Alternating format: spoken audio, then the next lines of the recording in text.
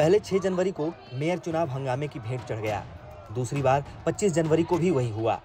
तीसरी बार 6 फरवरी को भी सियासी शोरगुल की वजह से मेयर चुनाव टल गया। लेकिन अब नतीजे का वक्त करीब है। चंद घंटे बाद ही साफ़ होने की उम्मीद है कि दिल्ली में किसका मेयर होगा। मुकाबला आप उम्मीदवार शैली ओबरॉय और बीजेपी प्रत्याशी रेखा गुप्ता के बीच है।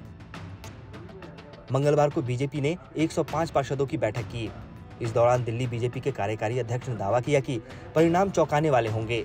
दरअसल बीजेपी मान रही है कि मेयर चुनाव में वो मैजिक नंबर तक भले ना पहुँच पाए लेकिन स्टैंडिंग कमेटी का अध्यक्ष उसी का होगा। आम आदमी पार्टी यानी मेयर पद की लड़ाई में एक तरह से बीजेपी ने हार मान ली है। अब बीजेपी स्टैंडिंग कमेटी के चुनाव में आपको कड़ी टक्कर दे रही है। मनोनीत सदस्यों को वोटिंग अधिकार पर सुप्रीम कोर्ट के फैसले के बाद अब चुनाव पूरे होने के आसार हैं। अदालत ने कह दिया है कि मनोनीत सदस्य वोट नहीं कर सकेंगे। इसके बाद शनिवार को ही एलजी ने चुनाव कराने की मंजूरी दे दी। आज मेयर के साथ साथ डिप्टी मेयर और स्टैंडिंग कमेटी के सदस्यों का चुनाव भी हो जाएगा। रामकिंकर सिंह, दिल्ली, आज तक।